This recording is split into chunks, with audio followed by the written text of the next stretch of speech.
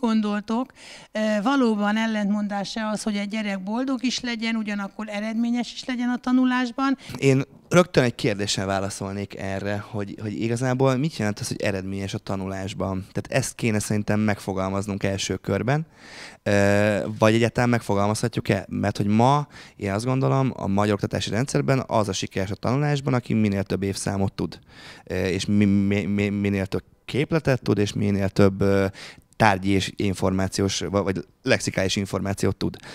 E, valóban ez kell -e. Tehát ahogy én azt gondolom, hogy a boldog gyerek e, az egy kiegyensúlyozott felnőtté válik, és egy kiegyensúlyozott felnőtt az ő képességeivel együtt abszolút e, hatékonyabban tud dolgozni, és sikeresebb tud lenni.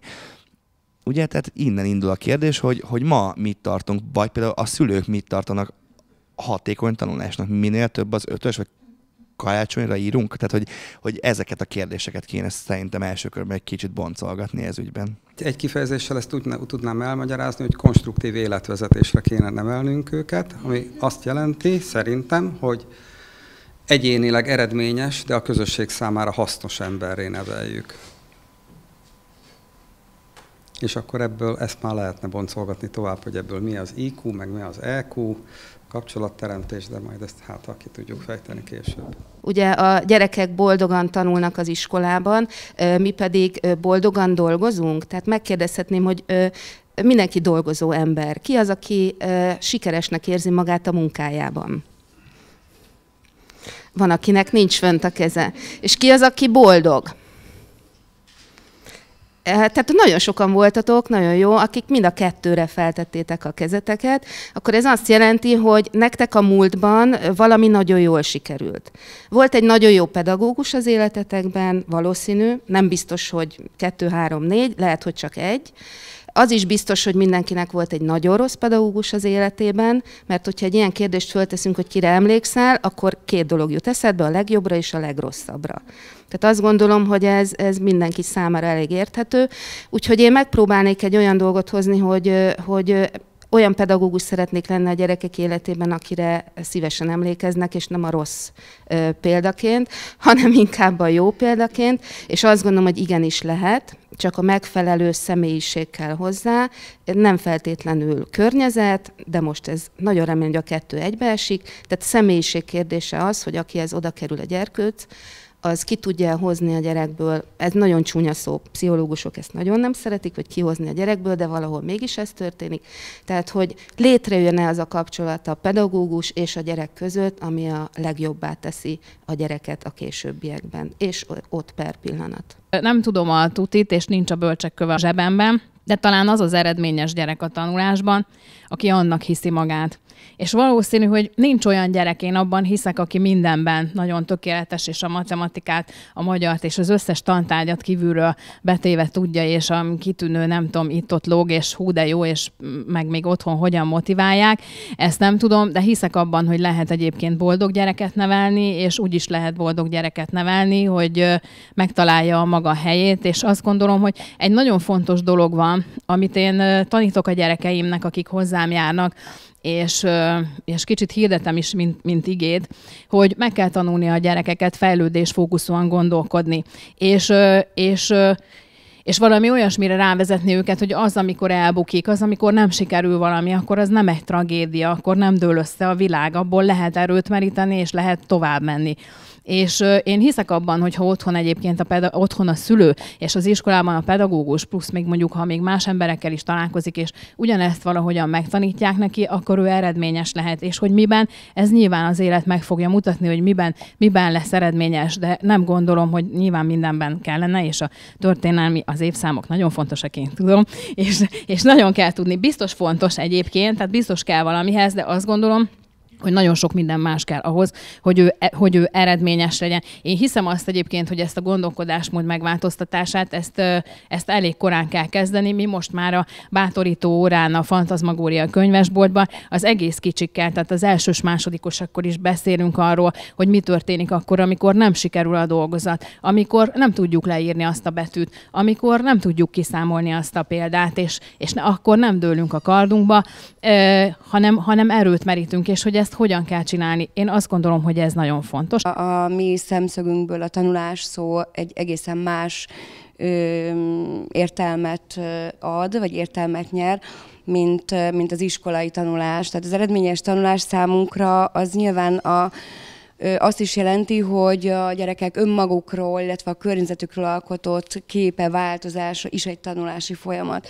Gyakorlatilag reggeltől estig tanulunk, és amikor a gyerekek, pláne a kicsik kezdik nálunk az évet, akkor a szülők időnként szörnyűködve fordulnak hozzánk szeptember közepén, és azt mondják, hogy valamikor fogtok is tanulni, mert hogy könyvet még nem vettetek elő. Na igen, hogyha el tudunk szakadni attól a tanulás si mechanizmustól, attól, amit, ugye, amire a szülők is szocializálódtak, hogy kintom a tankönyvet, bemagolom, leírom a munkafizetbe a 25 feladatot, megcsinálom, akkor lássuk be, hogy minden, amit ott tervezetten és tervezett tervezettség nélkül csinálunk, ez mind tanulási folyamat. Természetesen vannak itt nálunk is a gyerekeknek kötelezettségei, független attól, hogy egy alternatív lehetőséget, alternatív utat járunk, ez időnként nagyon nehéz, időnként pedig nagyon-nagyon jó partnereink vannak, és akkor egy picit megkönnyíti az életünket. Időnként úgy érezzük, hogy egy kicsit gúzsba kötve táncolunk, mert hogy azért ö, csak ö, megkötések vannak az életünkben, de ö, kaptunk és adhatunk egy olyan szabadságot, amelyben a tanulást valóban nem egyfajta magolásnak ö, kell értelmeznünk. Ezt az internetről loptam le, a többi a saját ábránk, nem tudom, látjátok-e innen, ott ugye a fából ö, kifaragott egyen apuka beviszi a nyers facsemetét, és a Balta tanító bácsi tanít. Na most tényleg érdekelne, hogy mit, nektek mi jut erről eszetekbe? Én azt gondolom, hogy ma Magyarországon ez van. Tehát, hogy így minden diáktól ugyanazt várjuk el, és ugyanaz a bemeneti feltétel, kimeneti feltétel, kimeneti követelmény, tehát hogy így próbálunk ilyen sémákat gyártani, és ugye legyártjuk a jó gyereket, a rossz gyereket, és hogy nincs a kettő között átmenet, és mindenkinek ugyanazt kell tudnia, ami meg, meg szerintem egy badarság, mert hogy ilyen nincs, tehát ne, nem várhatjuk el mindenkitől ugyanazt, én sem tudok hegyet mászni, pe, pedig szeretnék. Hát a kockafejű tanulógép jutott eszembe, hogy akikkel biztos könnyebb lenne pedagógusként, csak hát akkor elveszítenék a személyiségüket, az egyéniségüket, meg az egyéni képességeik pedig különbségek elmosódnának, mert hogy hát tényleg, tehát ha elkezdenénk itt békaügetni, akkor valószínűleg különbség lenne, hogy kinek hogy megy, de a kémia példákat oldanánk meg, vagy matematikát, vagy... Tehát, hogy sok mindenben mi felnőttek megbuknánk, amit, amit, meg, amit követelünk és kérünk a gyerekektől, mert hogy olyan nincs, hogy mindenki mindenhez értsen. Tehát ezt, ezt lehet erre törekedni, meg lehet nagyon széles spektrumú általános oktatásba részesíteni őket, de, de tudomásul kell venni minden egyes órán, minden egyes leckefölíráskor, minden egyes értékeléskör, hogy, hogy, hogy bizony ők is gyerekből vannak, nem lekicsinyített felnőttek, és hogy nagyon-nagyon más, más a képesség struktúra, amivel ők érkeztek. Eszembe jutott egy másik tanmese, szerintem mindenki ismeri, amikor minden állatnak ugyanazt kell megtanulnia, és akkor a, így van, az állatok iskolája, mit kell tudnia minden állatnak, ugye mindenki megbukik, mert nyilván a hal nem fog tudni fára mászni, a veréb nem tud úszni, stb. Szóval, hogy igen, tehát ugyanez, és hát ez a felmérés, amikor átküldted nekem, akkor néztem, tehát nyilván a százalékokkal sok mindent nem tudunk mit kezdeni, én azért hadd mondjak el egy, egy olyan visszáját ennek, hogy ugye oda van írva, hogy 92,3%-a szerint ugye romlott az oktatás színvonal, és hogy elégedetlenek az iskolával, egy teljesen személyes példát hadd mondjak, és aki pedagógus és általános iskola alsó tagozatában tanít, az fogja érteni, hogy mit mondok. Első osztály, első fél év végi fogadóra, szemben ül a kedves szülő velem, és megfogja a kezében a az úgynevezett értesítőt, amiben csudaszép dolgok voltak a gyerekről írva, tényleg, mert szöveges értékelés, és egy-két dolog még oda volt írva, meg hát a szülő látta, hogy mondjuk a gyerek nem úgy olvas, nem úgy ír még, ahogyan ő elvárná a gyerektől, tehát nem a gyerek, meg nem én, hanem ahogyan a szülő elvárná, és az első kérdés az az volt, hogy hogy fog ez a gyerek nyolcadikban felvételizni. És hát akkor ugye elsős pedagógusok, tehát ilyenkor mély levegő, elszámolunk tízig, szuper jól. Tehát a válasz ez. Tehát nyilván akkor nem fog jól, hogyha azt a hozzáállást követem, amit a kedves szülő. Ha azt követem, amit én, akkor szuper jól meg fogja oldani a feladatait. Tehát, hogy nekem egy picit torzít, tehát én azt gondolom, és a jelenlévők leszögezem mindig kivételek, tehát, hogy nagyon sokszor a szülők is rányomnak a gyerekekre olyan dolgot, amit azt gondolom, hogy nem szabadna rájuk nyomni. És nagyon sokszor én azt érzem, szerintem ti is, hogy nekünk kell egy kicsit a gyeplőt a szülők felől még, kivétel, mindenki, aki itt van, tehát visszafogni, hogy ne hajtsák annyira a gyerekeket, mert ej, ráérünk arra, még, még nem kellene olvasni, még nem kell. És nem baj, hogy negyedikben nem tudják még a szorzótáblát így, mert egy icipicit gondolkodik rajta. Nyilván, hogyha ha azt mondanánk, hogy másodikba kell tudni a szorzótáblát, nem lenne harmadikos gyerek, csak kettő mondjuk minden évfolyamon, mert, mert nyilván nem tudja még. Hát igen, kicsit gondolkodik rajta. Szóval, hogy ö, én azt gondolom, gondolom, hogy mi igyekszünk, tehát megdöbbentő nyilván ez a szám, és az, hogy miből lehet remélni az, hogy romlik az intézmények, meg az oktatás színvonala, Hát ez azért úgy kérdést tett fel bennem is, mert ugye nyilván mindig vannak mindenféle mérési eredmények, meg PISA felmérés és a többi, de azt gondolom, hogy azt a hozzáadott értéket, amit től azt mondhatnánk, hogy ez azért nem így van, azt borzasztóan nehéz kimutatni. És az azt gondolom, hogy nem egyik évről a másikra mutatható ki, hanem majd 15-20 év múlva, amikor ezek a gyerekek tényleg felnőttek lesznek. Az egyetemen volt egy nagyon kedves tanárom, nekem sok kedves tanárom volt, és sok olyan volt, akire nagyon szívesen emlékszem vissza, és ő egyszer azt mondta, hogy önök leendő pedagógusok, azt kell, hogy mondjam, hogy egy eszenciája van ennek a szakmának, biztos több is, de ő ő egyre letette a voksát, és azt mondta, hogy egy pedagógusnak álmából fölkeltve is tudnia kell a gyerekeinek a nevét, akiket tanít. Az egyik oldalra, a lapnak két oldala van, az egyik oldalra tudnia kell fölírni, hogy mik a gyerekeinek az erősségei, a másik oldalra, hogy mik a gyengeségei, és mindig figyelnie kell, hogy abból a gyengeségből mindig tegye át az erősségek oldalra az, ami oda tartozik, és ne hagyja meg ott, ami már, nem, ami már nincs ott, és aminek már nem kell a hátrányosságok vagy a gyengeségek között lenni. És azt gondolom, hogy ebben nagyon sok minden benne van. Mi megtanultuk azt, hogy igen, fejleszteni kell a, kell a gyerekeket, és nekem tényleg nagyon sok ilyen tanít, ta, tanárom vagy tanítónéném volt, vagy nem tudom, tehát hál' Istennek. Emlékszem például egy Viki nénire, bekerültem hozzá, elköltöztünk lakóhelyváltás, és nem tudtam írni, az önbizalmam olyan szintre lecsökkent, hogy a betűimet gyakorlatilag nagyítóval nézték. Nagyon kedvesek voltak a tanítók, nem piszkáltak engem ezért, de hát egyszer csak azt mondta a Viki néni, hogy hát most már meg kellene tanulni normálisan írni, mert így ember nem fogja látni, hogy nagyon aranyos, amit odaírok, biztos helyes is, de hát ez olvashatatlan. És leült, és türelemmel a napköziben dicsért, mindig megdicsért. Kicsi feladatot adott, kicsit dicsért, nagy feladatot, nagyot dicsért, míg a legvégére fölállva megtapsolt, megtapsoltatott az osztálya, hogy milyen gyönyörűen tudok írni. Nem lettem kockafejű. És az összes többi gyerek sem lett kockafejű, aki ott tanult a Viki néninél. Én hiszek abban, hogy vannak Viki nénik, meg vannak Jocó bácsik, meg vannak olyan emberek, akik nem faragnak kockafejű gyereket, függetlenül politikai háttértől, függetlenül attól, hogy mit írunk, én abban hiszek, hogy vannak olyan pedagógusok, akik látják a gyereket is. És azért látják, mert egyébként emlékeznek arra, hogy ők is voltak gyerekek, és hogy nekik akkor milyen szükségletük és milyen igényeik voltak. Azt gondolom, hogy ez nagyon fontos. Én minden felnőttnek egyébként, és minden szülőnek, meg minden pedagógusnak azt tudnám tanácsolni, hogy menjünk vissza oda, honnan elindultunk, és hogy vajon nekünk jó lenne az, ha úgy viselkednénk, ahogyan most viselkedünk mondjuk a gyerekekkel. Hát lehet, hogy nem. És akkor innen ki lehetne indulni. Az pedig hogy most mennyire milyen az oktatás színvonala, én, én még egyszer én nagyon tudom hangsúlyozni, hogy ez abszolút pedagógus függő, és szerintem vannak olyan osztályok, ahova imádnak járni a gyerekek, meg vannak olyan pedagógusok, akiknél imádnak tanulni a gyerekek, meg hát vannak olyanoknál, akik kevésbé is van olyan, ahova húha, be kell menni. Hát ez hú, nem biztos, hogy annyira jó. E, ilyen van. Nyilván egy pedagógusnak meg kell tudnia újulni, e, és hát nagyon kell nézni, hogy az ott egy gyerek, akit, aki rá van bízva. Ez egy hatalmas felelősség, én azt gondolom. Az, hogy a szülők mit tesznek rá a gyerekre, és hogyan, ez biztos nagyon sok.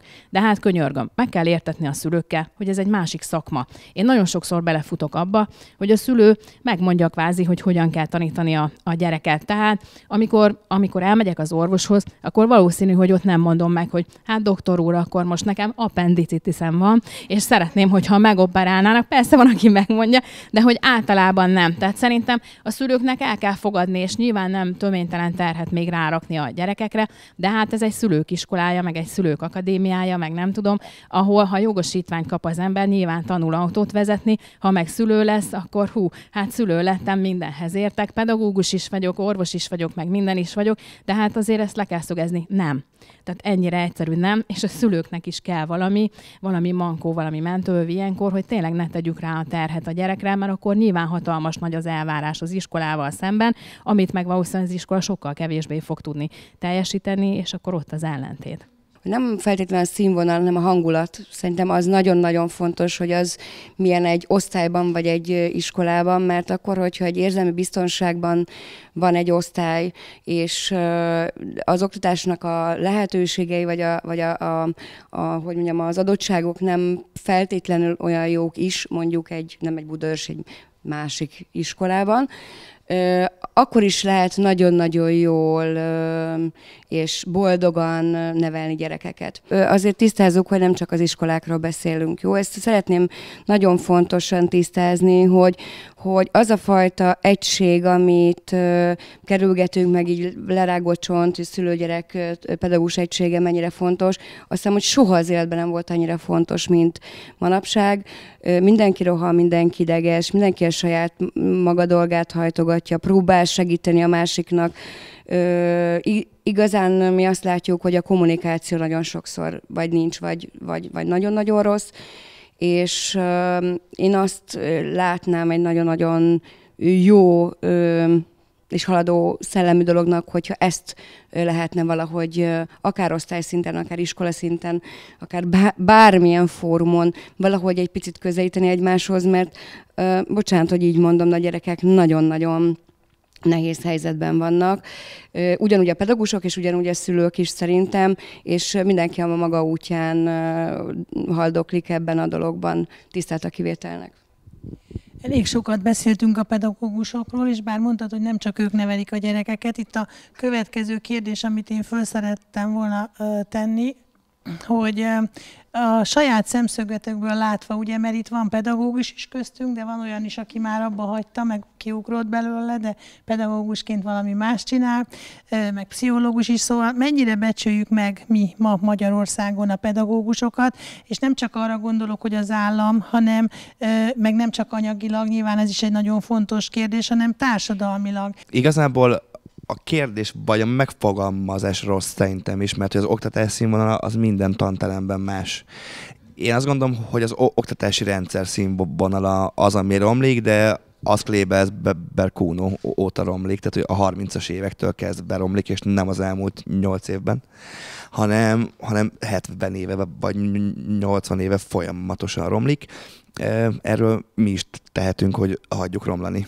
Mint szülők, mint pedagógusok. Pedagógusok megbecsültsége, én ezzel mindig gondolkodtam, hogy én, én miből érezhetem azt, hogy engem megbecsülnek. Tehát, hogy így miből tudom azt, hogy, hogy egy szülő megbecsül? Azért, mert jó fej, azért, mert megdicsér, azért, mert hoz év végén ajándékot. Tehát, hogy, hogy vagy pedig egy érzésnek kéne lenni, hogy na, ez a szülő engem most megbecsül. Én azt gondolom, hogy a pedagógus hiányra azt mondani, hogy bármit is előre mozdít, vagy, vagy előre vetít, vagy előre visz, az, az, az nem lehet. Tehát azt gondolom, hogy én magam látom, hogy, hogy tényleg bárki bekerül most már pedagógusnak, mert nincs. Tehát mind a mai napig több ezer pedagógus hiányzik a rendszerből, bár ugye nem látszik, mert hogy osztályösszebonások e, mi, miatt kevésbé látható az, hogy hányan e, hiányoznak. De ez a pedagógus hiány, ez olyat eredményez, hogy tényleg olyan pedagógusokkal találkozom, aki mondjuk 30 évvel ezelőtt pedagógusként diplomázott, de, de, de soha nem dolgozott a szakmájában, és most a nyugdíj előtti pár évre úgy gondolja, hogy stabil állás jól jön, és visszamegy. És borzasztó, tehát hogy hogy te ne, nem akarok itt rémtörténeteket mesélni, hogy milyen pedagógusok kerülnek be, de hogy, de hogy nálunk a meghirdetett állásokra jelentkezőknek a 95%-a ránézése, hogy az első két perces beszélgetésből alkalmatlan új palotán a 15. kerületben, de, de, de ez bármerre megyek iskolákban, nagyon sokat járok. Tehát, hogy, hogy, hogy, hogy bejönnek, és az első két percben látod, hogy, hogy pszichésen sérült. De fel kell venni, mert nincs ember. És hozzánk került egy olyan pedagógus, aki egy hónapig volt nálunk, akinek néhány év alatt e, ez volt a 40 páradik iskolája. És mindenhol egymás nap után kirúgták. És mi mindig megy tovább, és mi mindig felveszik, mert hogy ennyire nincs ember. Tehát, hogy azért itt egy néhány éven belül óriási egy probléma ma lesz, mert ez a pár ezer, ez tízezernél is több lesz. Én szerintem nincs pár éven belül, most van nagyon nagy gond. Ha valaki benne van a pedagógus álláskeres, igen, de ha valaki benne van ezekben a csoportokban, ahol állást keresnek a, az iskolák, általános iskolák, gimnáziumok, és nem is mondom az alternatív iskolákat, mert ez egy másik helyzet, egyszerűen az, hogy nyáron sem volt nagyon pedagógus, de vannak olyan helyzetek, ahol most látom, hogy és még mindig keresünk, itt vagyunk november közepén, nincsenek pedagógusok. Nem a vidéki iskolákról beszélek, itt Budapesten, Budaörsön nem tudom, hogy pontosan mi a helyzet, de de azt látjuk, hogy folyamatosan keresnek nálunk. Például van olyan pályázati felhívás, ahol egy pályázat se érkezik be. Tehát nem tudok, nem tudok válogatni, nagyon-nagyon nehéz a helyzet. Mondom még egyszer, nem rólunk beszélek elsősorban, hanem állami iskolákról, ahol hát mi lesz azokkal a gyerekekkel? Nincs, nem, nem megy be tanár. Budaörsen is pontosan ugyanazt éljük meg. Tehát ez egy, nem egy új palotai lokál helyzet, hanem ez egy teljesen globál helyzet. Bejön az ajtón, és akkor lehet látni, hogy köszönjük szépen. És akkor persze vannak kompromisszumok, tehát akkor egy kicsit mondjuk jobban néz ki, vagy van egy kisugárzás, akkor pedig föl fogjuk venni, független attól, hogy most próbatanítást tudunk csinálni, vagy nem tudunk csinálni. A pedagógus hiány az gond, az nem fog megoldani, nem lesz a pedagógusnak jobb hírneve attól, hogy kevés van belőle, Nyilván majd följön egy generáció, akik már másként fognak gondolkodni, de ez nem a következő tíz évben lesz, hanem, hanem sokkal később. És az, hogy megbecsültség, nem megbecsültség, Hát mióta én a pályán vagyok, a pedagógus megbecsültség az téma, tehát ez soha nem volt meg. Anyagilag egyáltalán nem, de elkölcsileg sem. És azt gondolom, hogy azt, amivel most küzdünk, tehát hogy meg, mi is meghirdettünk olyan állást, amire nem jelentkezett senki, azt, azt a, a lokál közösséget, a helyi közösségek tudják csak orvosolni, tehát nekünk kell olyan hangulatot, olyan közeget, olyan, olyan nem tudom mit teremteni, amire a pedagógus akkor is bent marad, hogyha mit tudom én, reketje szőlősön, ahol mit tudom én, az albérlet sokkal olcsóbb, ott is simán akkor, akkor nem megy oda, mert, mert azt mondja, hogy hú, de jó Hermanban mondjuk a hangulat. Tehát én csak ezt tudom csinálni, hogy mondjuk klassz hangulatú iskolát csinálok. Az alap, amivel én szeretném kezdeni, szerintem itt nézek a kollégákra, hogy az iskola az egy jó hely. Tehát, hogy szeretünk benne dolgozni. Legalábbis én, én biztos, hogy szeretek benne, és a kollégák is bólogatnak, hogy jó hely. Tehát, hogyha ha mi pedagógusként, meg szülőként, mert nálam ugye ez már fedésben van a dolog, meg intézművezetőként jól érzem magam az épületen belül, akkor nem hiszem, hogy a gyermek nem érzi jól magát, és nyilván nem azért érzem jól magam, mert verem őket, hanem mert azt, szeret, azt csinálom, amit szeretek, és ezt a gyerek honorálja.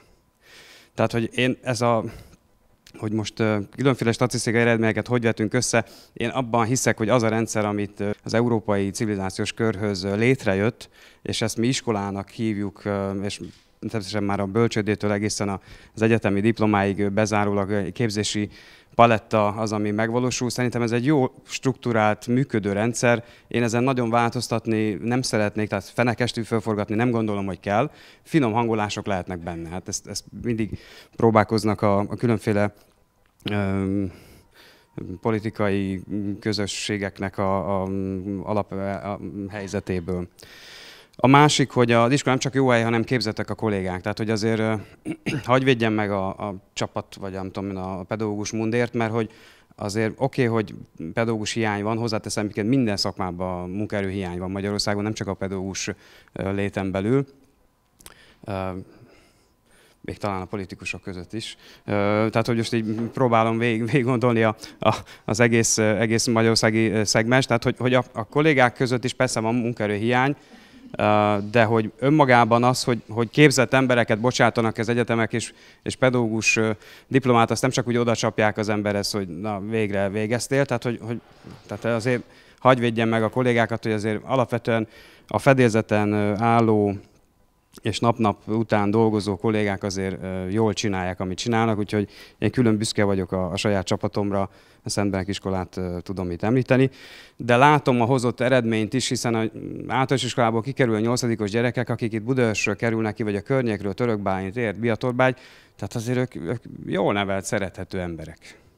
Hiszem, hogy a, a szülőkkel kooperálva ez egy, ez egy eredményes világ ne, ne bántsuk ennyire az iskolát, hogyha lehet ilyet mondani. Kellenek a közös alapok, és én, mint egy katolikus iskolának az igazgatója, hiszek abban, hogy a keretek között vannak a, a diákok, és ezek a keretek a szeretet nyelvével vannak megrajzolva, akkor ott jól érzik magukat. Én inkább sokkal inkább azt látom, hogy ahol nincsenek keretek, ott, ott ilyen picit ilyen partalanná válik a léte a gyermeknek, és ő maga nem találja meg a helyét ebben.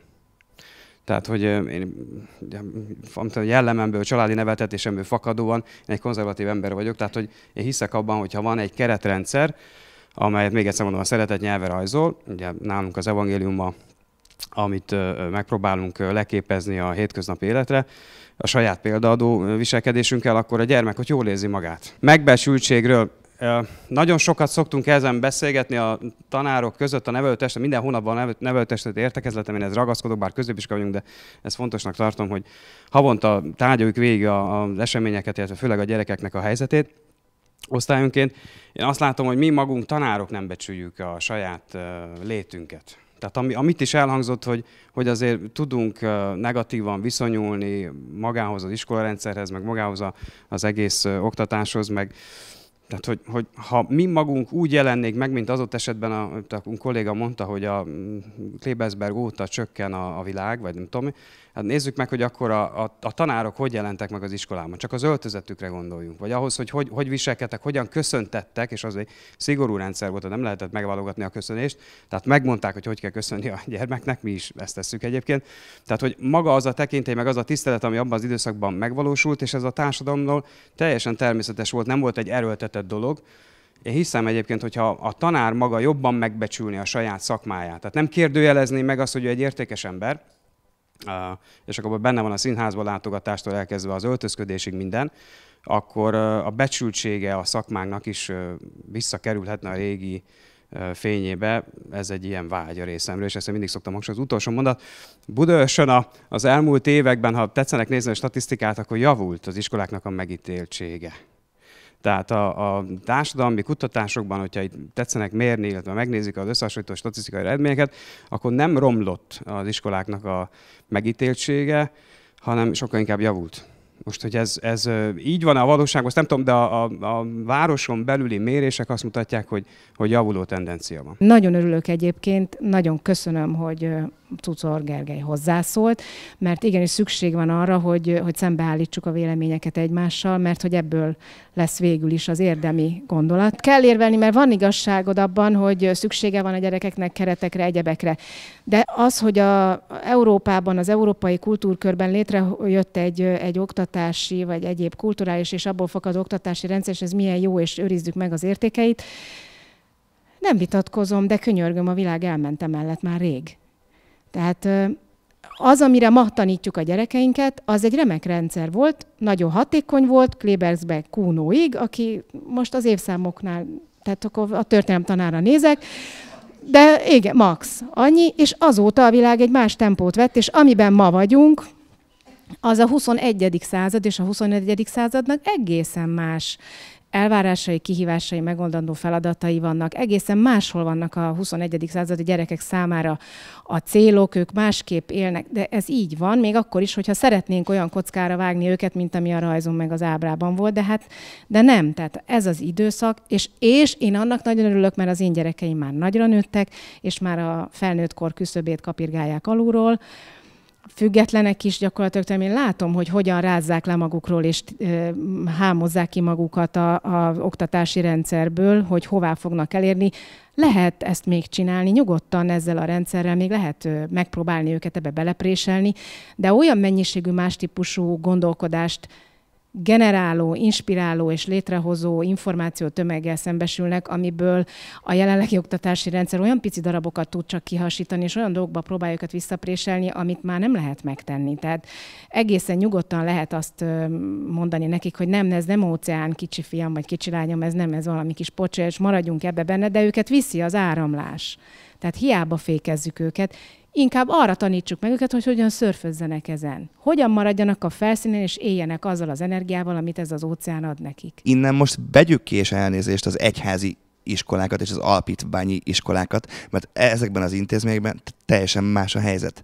Én is dolgoztam egyházi iskolában, nekem is van barátom, aki egyházi iskolai igazgató, és teljesen más. Más az anyagi háttére a, az iskolának, és más az egésznek a légköre. Tehát, hogy, hogy én azt gondolom, hogy ma igenis Magyarországon hatalmas nagy gondban vannak az iskolák, és nem azért, mert a tanár hogy öltözik fel, és nem azért, mert nem, nem elveket képvisel, hanem azért, mert a, amíg az egyházi iskolák extra finanszírozást kapnak, addig az állami iskoláktól veszik el a pénzt, és eszközhiány lép föl Budapesten is már. Te, tehát, hogy, hogy, hogy én tényleg nem vagyok az egyházi iskolák ellen, sőt, én imádom őket. De lássunk már túl azon, hogy sajnos nem ez az általános. Tehát ma Magyarországon nem ez a helyzet. És ezek gyönyörű gondolatok, és hogy nem tudom, hogy hogy le- lehetne ezt, ezt megváltoztatni, de, de, de tényleg azt látom, hogy iszonyatos nagy baj van. És amire még neked reagálni, azért mondtam, hogy pár éven belül még nagyobb baj lesz, mert hogy a ratkó korszaknak a gyerekei most fognak elmenni nyugdíjba. Tehát itt olyan brutális pedagógus hiány lesz, hogy egyszerűen nem lesz ember, aki tanítson, és azzal is vitatkoznék, én is körbenézek, én is tanítok egyetemistákat. Az egyetemről kikerülő pedagógus hallgatók többsége azért kerül be, mert nem vették fel más szakra. És ez maradt, és az egyetemről kikerülő pedagógusok, ne, nem akarok arányokat mondani, de sajnos a többsége alkalmatlan a pályára. És úgy kapnak egyetemi diplomát, és úgy engedik őket gyerekek közelébe, hogy meg is mondják nekik, hogy légy szíves, ne tedd. De adunk egy diplomát. Tehát itt tartunk. Tehát nagyon jó, hogy vannak iskolák, nagyon jó, hogy lehet válogatni, csak sajnos az iskolák többsége tényleg nem teheti meg azt, hogy válogasson. Amikor kialakult ez az oktatási rendszer, az egy alapvetően tekintélytisztelő és tekintély elvű világ volt. Ma meg nem az van. Van még ilyen pedagógus a pályán, de nem eredményes, és nem sikeres, és nem nevel boldog gyereket mert hogy, mert hogy ezeket a gyerekeket már a szülők sem nevelik tekintélytisztelőnek, ezért egy tekintélytisztelő tanár az sok mindent kivált a gyerekből, legkevésbé az együttműködést, legkevésbé a motivációt, hanem inkább az ellenkezést, az oponálást, vagy a stresszt, a szorongást. Már pedig szorongva nem lehet tanulni, mert a szorongás az megbutít rontja, effektíve rontja a kognitív képességeket, tehát ha behúzza a féket a gyerek, és még a maradék képességeit is betemeti valóvá a félelem mögé, hát az nem lesz eredményes, meg boldog. Szó volt már itt arról, hogy azért más, más az állami iskola, meg más az egyházi iskola, illetve hát amit én a következő kérdéskörnek szántam, az az, hogy egyre több alternatív iskola, illetve úgynevezett magánóvoda tanulócsoport jön létre, és az én kérdésem felétek az lenne, Ági, szerintem te is fogsz tudni erre válaszolni objektíven, hogy va- valódi meg- megoldást kínálnak-e ezek a problémára. Itt megint az előbb idézett tanítónéni mesélte, hogy az ő az egy, egyik tanítványa az majdnem kitűnő tanuló volt az iskolába, ami amíg átvitték egy tanulócsoportba, ahol ugye az a rendszer, hogy egy évbe kétszer kell elmenni vizsgázni a abban az iskolában, akivel erre szerződést köttök, és bizony mind a kettő nagyon rosszul sikerült neki. Na most a kérdésem az, hogy baj ez, hogy az a vizsga éppen nem sikerült, vagy pedig lehet, hogy nem ilyen irányba kellene keresni a megoldást, hogy különböző tanulócsoportokat hozunk létre. Egyrészt azt gondolom, hogy ugyanúgy, ahogy nem lehet a pedagógusról, mint kategóriáról beszélni, ugyanúgy nem lehet sem alternatív megoldásokról beszélni. Tehát pedagógus és pedagógus között különbség van, nevelő és nevelő között is különbség van, és ugyanígy alternatív megoldások között is van különbség, sőt, két tanulócsoport között is óriási különbség van. Tehát én, én azt gondolom, hogy, hogy, hogy ezek ilyen, ilyen címkék, meg ilyen, ilyen varázslatos nevek, amik most ilyen nagyon divatossá is váltak bizonyos kultúrkörökben, de, de én azt gondolom, hogy, hogy a, a, amit na, nagyon-nagyon tetszett, amit mondta, hogy valóban a pedagógushoz, vagy hogy is mondtad, hogy a, hogy a pedagógus dönti el, hogy milyen, milyen lesz a hangulat. Legyen az egy tanulócsoport, legyen az egy, egy magániskola, legyen az bármi. Tehát, hogy, hogy, hogy inkább arról, arról kéne beszélni. Nyilván, nyilván vannak olyan gyerekek, akiknek kell, hogy segítséget nyújtson, és segítséget is nyújt, de az említett példa alapján valószínűleg ez a tanulócsoportnak a működése, azokat a kereteket, amiket én is ugyanolyan fontosnak tartok, mint a pedagógusok nagy része, azt gondolom, hogy ez ne lehet, hogy ott nem volt meg. Ugye a tanulócsoportokat, illetve a tanudákat nagyon sokszor avval a kifejezés illetik, hogy így, így szabadon, túl, túl, túl szabadosak, vagy túl liberálisak. Vannak azért olyan alternatív iskolák vagy tanulócsoportok is, ahol ezeket a kereteket nagyon-nagyon komolyan veszik. Igaz, hogy máshol húzzák meg, de én is ugyanúgy gondolom, és mindok egy példát tetszeni fog neked, egy példát arra, hogy, hogy, hogy miért nagyon fontos. Ezt mindig tájékoztatokon is, beszélgetéseken is el szoktam mondani a szülőnek, hogy otthon is, és az iskolában is, vagy a tanulócsoportban is miért ennyire fontos egy keret. Ha fölmész egy hegyre, és ott van egy kilátó, ahol ki szeretnél nézni, nincsen korlát, és ö, esetleg szeretnél körbenézni, akkor vagy leesel, vagy pedig nem mersz oda menni. Ha ott van egy korlát, amiben meg tudsz kapaszkodni, akkor egy picit túl is lóghatsz, és gyönyörű dolgokat lehet tapasztalni. Nagyon szép ö, és új élményekkel tudsz gazdagodni, de biztonságban vagy.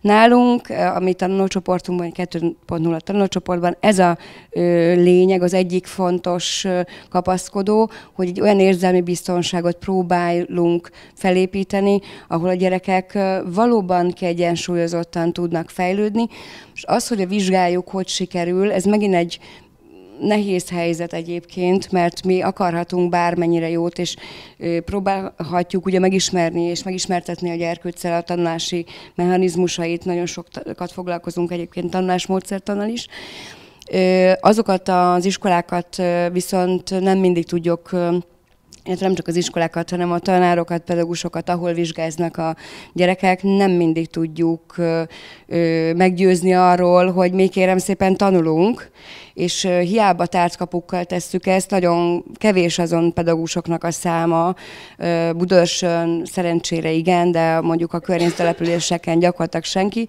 aki annyira kíváncsi lenne ránk, hogy egyáltalán egy levelet elolvasna, hogy mit csinálunk. Zám járt a kortás segítő csoportba egy fiúcska, aki folyamatos bántalmazásnak volt kitéve az egyik iskolában, és elvitték egy tanuló csoportba, eh, ahol viszont remekül teljesít, biztonságban érzi magát, eh, és tanul, és sokkal jobb eredményeket ér el, mint egyébként a másik iskolában is. Ez most nyilván sem nem jó, sem nem rossz, meg nem húzunk ö, skatuját, meg nem rakjuk bele, de azt gondolom, vannak olyan gyerekek, akiknek igenis nem jó a 30, meg a 36 fős, meg nem tudom hány fős osztálylétszám, és van olyan, aki bizony olyan sérelmeket szenved el, és most hagyd mondjam el nektek, hogy ma például a csoportomban, ahol ma hat gyerek volt, abból három gyerek bántalmazott, bántalmazzák az iskolában. Nyilván e, a gyerekek, a gyerekek. Nyilván egy idő után a, pedagó, a, a szülőnek eszébe jut, hogy most már igen sokat bántalmazták a gyerekemet, akkor valószínűleg ki kell vennem ebből a közösségből, mert nem tudja megoldani ezt a problémáját. Na most nekünk több ilyen gyerekkel volt kapcsolatom, több ilyen gyerek járt hozzám, akiket elvittek tanulócsoportba, alternatív iskolákba,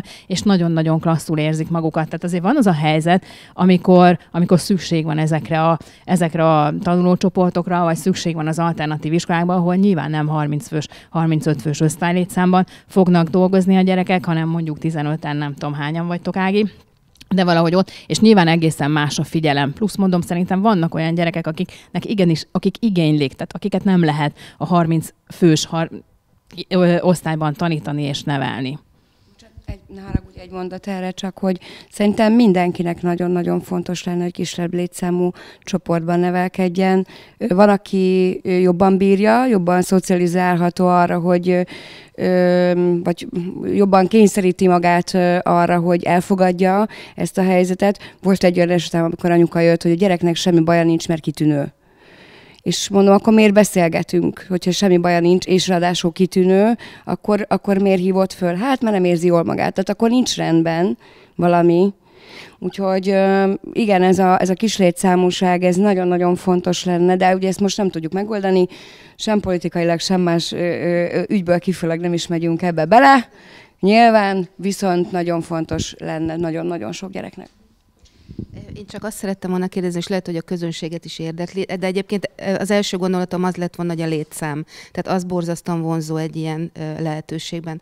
Hogy biztosan van valami adatotok arra vonatkozóan, hogy hogy nőtt esetleg a létszám olyan szinten, hogy már eleve hozzátok mennek elsősként, nőtte ezeknek a beiratkozóknak a létszáma, avagy olyanok, akik menekülnek első, második, harmadik, vagy uram, bocsánat, negyedik után, mert tudják, hogy esetleg váltás jön, és ott valami más jön. Tehát biztos van ilyen adatotok, viszont én csak annyit érzek ebben az egészben veszélyesnek, hogy amíg visszamennek egy ilyen rendszerből vizsgázni a másik rendszerbe, akkor, akkor ez, ez azt gondolom, hogy abban az esetben, hogyha a szülő elfogadó, és azt mondja, hogy nem baj, hiszen nem az számít, akkor semmi probléma vele. De hogyha ha esetleg egy olyan szülő adja be valami úton, módon mégiscsak, akinek ez számít. Tehát, hogy valami olyan vizsgarendszert kellene kipróbálni tényleg, vagy létrehozni, ami tényleg a tiétek.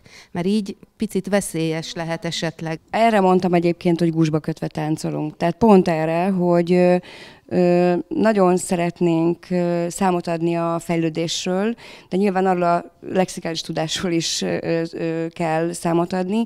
Kivéve két olyan helyzetben is, az egyik a Hermanotto általános iskola, ahol egy nagyon-nagyon hosszú és mm, kísérletező és nagyon-nagyon jól, pozitív hozzáállással találkoztunk, úgy vezetői szinten, és végül is a, a tanárok is bele láttak ebben, hogy, hogy folyamatosan látni tudták azt, hogy mi, mi tanulunk azért.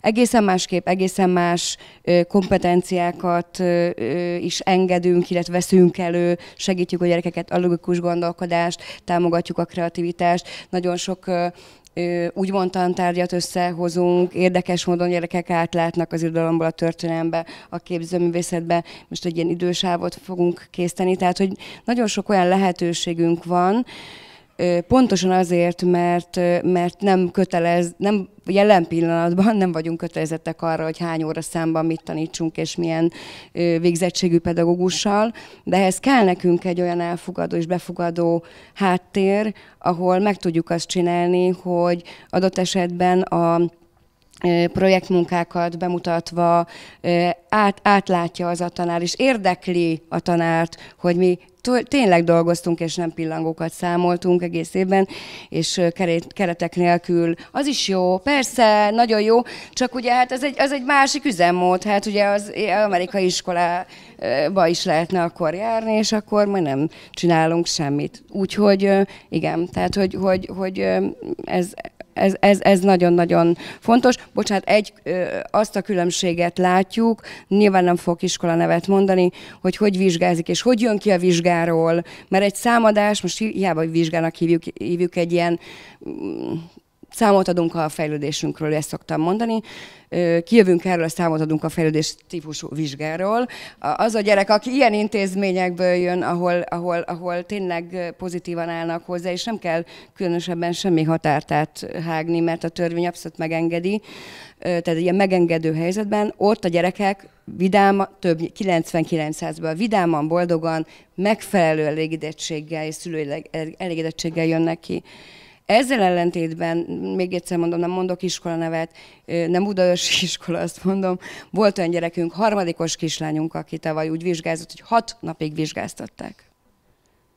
És hat napig, igen. Tehát, hogy és nem tudtuk, hogy mi értelme van. Hat, hat, hat napig egy harmadikos gyereket. Minek? Ami érdekes, és én nem gondoltam, hogy, hogy van ilyen, de én például tapasztaltam olyat is most ebben az évben, hogy viszont van olyan diák, akinek nem való az alternatív, és nem való a tanulcsoport, neki ez a nagyon keretes, nagyon ott kell lenni, a tanár legyen öltönyben vagy frakban, mentalitás kell, mert azt gondolom, hogy, hogy ő ebben szocializálódott valószínűleg otthon is, és egészen az óvodától kezdve is. Viszont én azt látom, ami meg egy még nagyobb probléma, hogy aki megteheti, és itt sajnos anyagilag értjük azt, hogy megteheti, ő tényleg menekíti kifele a gyerekét bármilyen alternatív iskolába, nem véletlen van olyan Budapest környéki település, nem Budaörs, ahol, ahol az elmúlt öt évben a tizedik alternatív tanulócsoport és iskola nyílik, és meg tudják tölteni, mert szükség van rá. Még egyszer mondom, az, aki anyagilag megteheti. Ennek megint mi a, a hosszú távúja?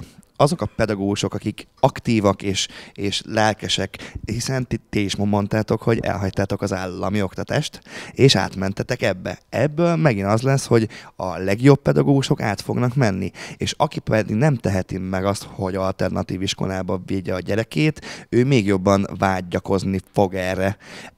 Az, hogy megoldása a problémára, a, a ma lévő pénzspórolási tendenciára mindenképpen megoldás.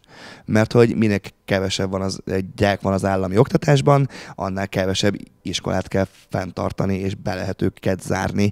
Ö, én nem gondolnám azt, hogy ez egy hosszú távú cél, de akár lehet is ez, mert hogy azt gondolom, hogy tényleg iszonyatos mód me- megnőttek ezek a magániskolák és alternatív iskolák, csak az embernek kell hozzá egy anyagi háttér, és hogy egy bizonyos szint alatt az ember nem, nem tudja megtenni, és iszonyatosan sok tehetség megy tönkre. Azért, mert nincs pénzük arra, hogy elmenjen egy ilyen helyre, ami szerintem meg a legrosszabb. És lehet itt órát, lábórát, csak az a baj, hogy ez, ez egy valós probléma. Az volt a kérdés, hogy állami vagy alternatív, vagy milyen iskola, hogy van, aki integrálható, és, és a Herman azért ez egy befogadó iskola, tehát igyekszünk nagyon sokféle elvarázsolt gyereket integrálni, de nem mindenki integrálható. Tehát van, akinek kell az, hogy be a néniből ne egy harmincad jusson rá, hanem csak egy tized. Sokkal több figyelem, más módszer, nagyobb tér, kacskaringósabb út, tehát hogy, hogy, hogy azt gondolom, hogy igenis szükség van a, a különböző alternatívákra, ahogy szükség van a, igen, a mert van olyan gyerek, akinek az kell. Tehát a Faldorf iskolában szana szétesne, mert esetleg kevésbé határozott a, a határ, vagy a korlát, ugye, mert ebben viszont nagyon egyetértek Gergelyel, hogy, hogy kell a korlát, kell, kell a kapaszkodó, az biztonságot ad a gyereknek. Nagyon sok helyen járunk az országban, pedagógusok között, szülők között, és nagyon érezzük azt, hogy borzasztó nagy probléma van. Iben Szandalal, aki a Gyermeknevelés Dámódra című könyvnek a szerzője, tartott itt előadást ugye a HVG szalomban, csinálhattam interjút is, és megdöbbentő volt, amit tapasztaltam, és amit ő ugye elmondott és képvisel is ebben a könyvben, hogy az érzelmi biztonság az, amit leginkább ugye meg kellene, hogy adjunk a gyermekeinknek, mert hogy valójában, és nyilván a Jocó által ebben szocializált vagyok, hiszen a menedzsmentjét visszük két éve, nem tudjuk, hogy mire kell fölkészíteni őket a jövőben, de azt meg nagyon-nagyon látjuk, és nagyon sok visszacsatolás van hozzánk, hogy borzasztó sok pszichés probléma van, megfelelési kényszer, versenyeztetés, és azt gondolom, hogy itt jut el az odáig, ami itt a gondolatomnak talán a fő mondandója, hogy a szülői bevonódás, és az együttműködés a pedagógus, szülő, gyerek között, tehát ez a hármas, csak akkor lehet sikeres, hogyha egyenrangú felek vagyunk, és együttműködünk a gyerek érdekében.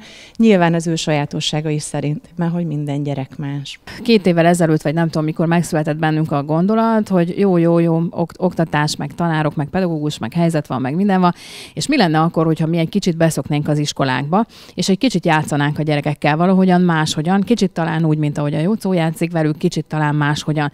És létrehoztunk egy kamaszodó, kapaszkodó programot, amivel itt Budaörsön most már nagyon sok iskolában, sok osztályban megfordultunk, és egy nagyon-nagyon kedves pozitív élmény, tehát tulajdonképpen játszunk tényleg a gyerekekkel, mindenféle személyiségfejlesztő, önismereti és élménypedagógiai játékot, gyakorlatilag fölépítünk nekik egy ilyen egész programcsomagot, attól függően, hogy minek, miért hív meg az adott pedagógus osztályfőnök bennünket. Nyilván nem sok órában, tehát nem tudunk beépülni oda, Viszont volt egy nagyon aranyos tanítónéni, aki azt mondta, hogy ez mennyire jó, mert ő megtanulja tőlünk ezeket a fogásokat, megtanulja tőlünk ezeket a játékokat, vagy legalábbis amit tud, és ő fogja ezt csinálni, és fogja magát képezni. Tehát adtunk neki egy indítást, egy lendületet, tehát ha más nem, akkor akkor ez egy nagyon-nagyon klassz dolog, hogy szerintem, hogy a, hogy a hagyományos iskolákban valahogyan ez a kicsit ez az alternativizmus, ez a kicsit ez a, ez a, ez a személyes dolog, ez, a, ez, ez bevonódjon, vagy ott legyen. És nagyon örültek, tehát meg kell, hogy mondjam, hogy pozitívan fogadták, nem tettek ki bennünket eddig egyetlen egy budaörsi iskolából sem,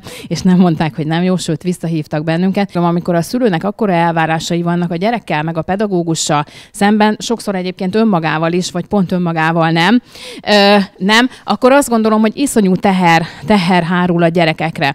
A bátorító órákon rengeteg olyan gyereket látok, ahol a gyerekkel az ég egyet a világon semmi probléma nincs, de a szülőnek biztos megajánlanék egy-két csoportot, egy-két helyet, hogy hová lehetne még elmenni. Én nagyon szeretem Vekeldi tanárurat, kicsit tanított is engem, és én azt gondolom, és pont ma beszélgettünk a gyerekekkel, hogy mi szükség a házi feladatra, és kövezzenek meg a pedagógusok szerintem semmi.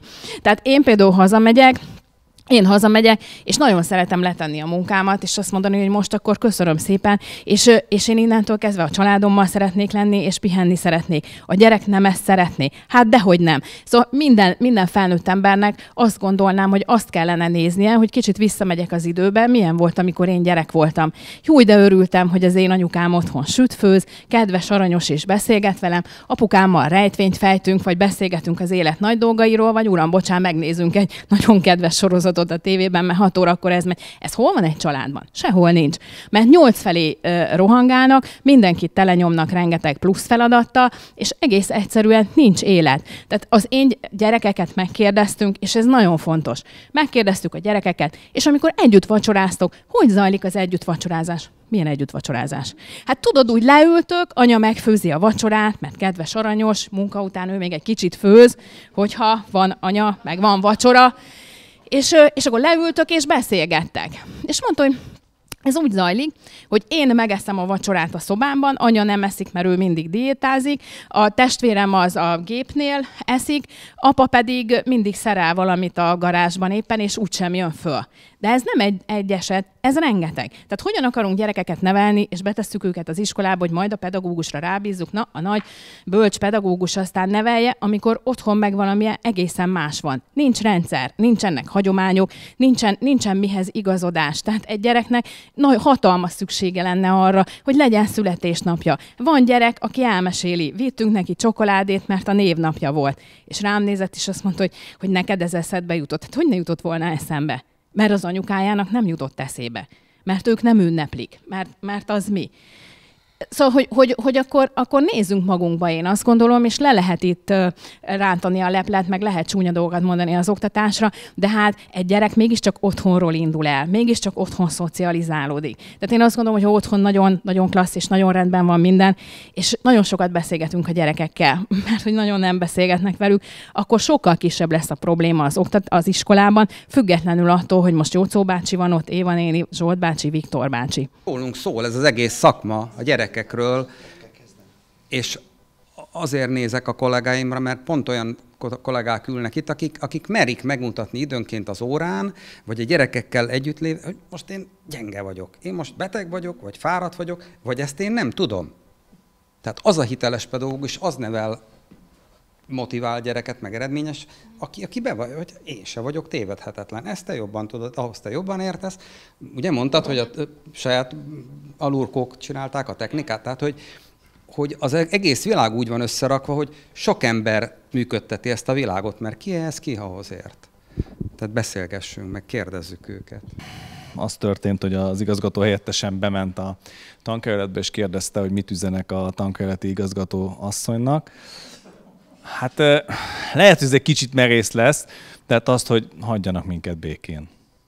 Tehát ez, ez, ez jutott eszembe, ez a, ez a mondat jutott eszembe. A zsigerből, amikor ránéztem erre, akkor ez jutott eszembe. Tehát iskola igazgatóként egyre több olyan dolgot csinálok, amiről úgy érzem, hogy improduktív, de meg kell felelni valamilyen keretrendszernek, és hát ezen a keretrendszeren, tudom, hogy ez egy kicsit olyan, olyan demagóg dolog, hogy lazítani kéne a keretrendszeren, de én azt gondolom, hogy nagyon-nagyon-nagyon sokat lehetne lazítani a keretrendszeren, és talán ez az üzenet, hogy, hogy lazítsunk ezeken a kereteken, és biztos vagyok benne, hogy rá lehet bízni a szakemberekre, hogy mit csináljanak az iskoláikban. Én azt gondolom, hogy nyolcadik, második fél évétől abba hagynám a tanítást, és projektmunkákat csinálnék a gyerekekkel, plusz aki ö, nyelvi tagozatra megy, azzal csak a nyelvvel foglalkoznék, hiszen gyakorlatilag majdnem, hogy a, legalábbis a gyerekek elmondása szerint, és emlékeimben is úgy él még ez az egy fél év, hogy igazából nagyon sok minden ott nem történik már, a gyerekeket fölvették valahová,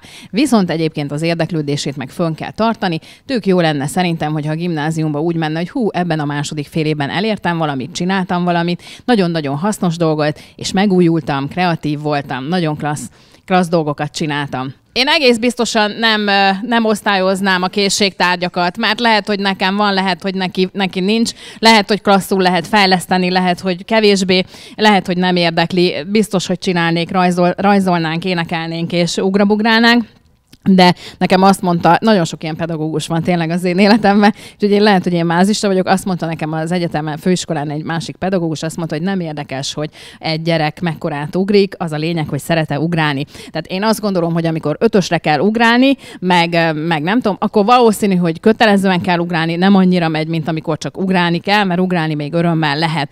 Én biztos, hogy ezt megszüntetném. Én egyébként olyan gimnáziumba jártam Nyíregyházán, ahol annak idején sem osztályozták a készségtárgyakat, és micsoda véletlen most sem osztályozzák, tehát valószínű, hogy ők rájöttek erre, hogy a gyerekek egyik ilyen, másik olyan, harmadik, meg amolyan, viszont nagyon szeretnek rajzolni, nagyon szeretnek énekelni, és nagyon klasszul ugrálnak. A harmadik dolog, amit megint csak a gyerekektől szedtem, nagyon szeretnének megtanulni sütni, főzni, ezt egyik már több fórumon elmondtam, hogy nem nagyon értem, hogy miért nincsenek tankonyhák. Az például egy hatalmas nagy eh, kreativitás, kreativitását is kiélhetné, ráadásul hasznos, mert eh, legalábbis azok a gyerekek, gyerekek, akik engem körülvesznek, ott a, nagy, a szülők nagy része nem főz, tehát tényleg nincs vacsora, meg tényleg nincs vasárnapi ebéd, viszont a gyerek meg igényelni, kapna egy lehetőséget, akár lehetne főzni is.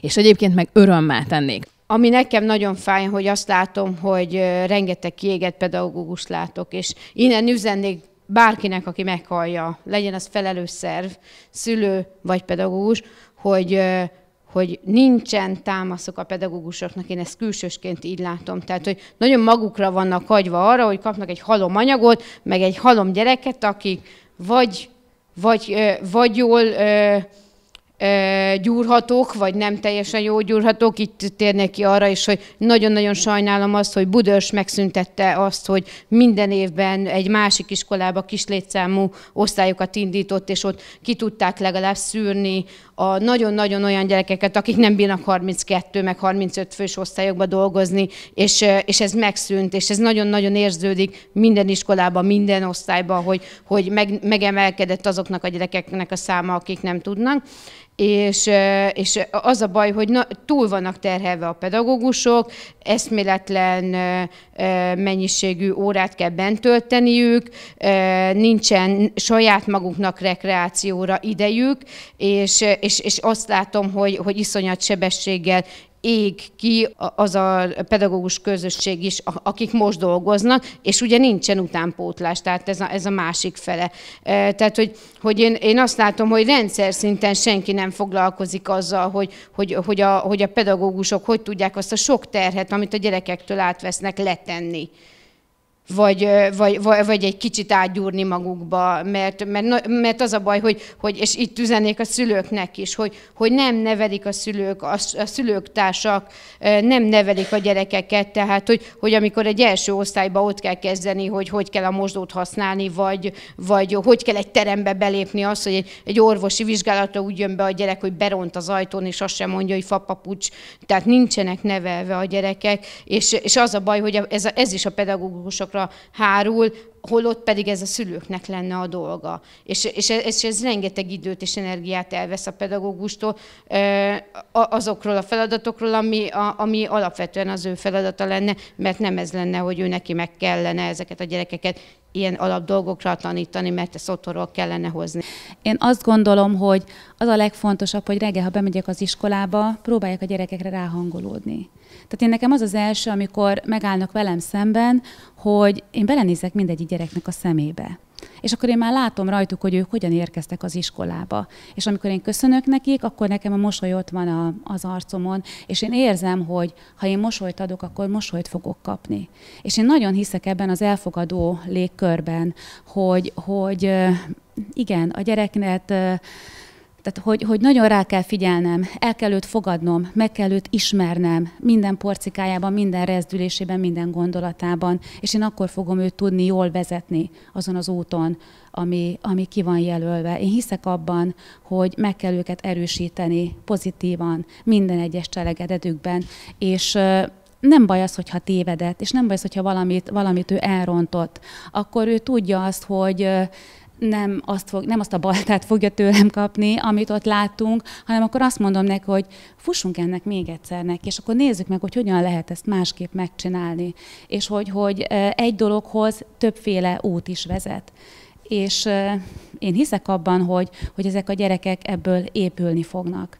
És, és kell igen a küzdelem, kell az, hogy, hogy felkészüljünk arra a világra, ami, ami kint majd vár minket, vagyis a gyerekeket várja. De én azt gondolom, hogy ha ők elindultak egy ilyen szeretetteljes légkörből, ahol, ahol megtanulták azt, hogy hogy lesz ő kiegyensúlyozott, hogyan tudja majd esetleg a kis bakiait is majd helyrehozni, akkor, akkor mindenképpen boldog felnőtt lesz majd belőle, ha itt most egy kicsit sikerül neki boldog gyereknek lenni.